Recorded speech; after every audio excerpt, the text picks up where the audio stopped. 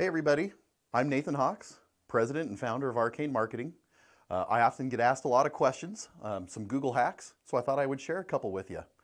Uh, one of the most common things that I think that any business can do, and it blows my mind, is that they don't claim their Google My Business profile in the Google Maps. It's very easy to do. All you have to do is go claim the profile, set it up, verify that it's you either through a text message or a phone call, and then once you've got that profile set up, here's the next hack. Almost all companies that we help don't have their business profile filled out very well. Google gives preference to those companies that have done a good job at filling them out. Most companies haven't, and so there's a lot of information that's missing. All you have to do is just put in every bit of information and answer all of the questions that you can, and then you'll get that preference. Do that, and it already puts you ahead of most of your competitors.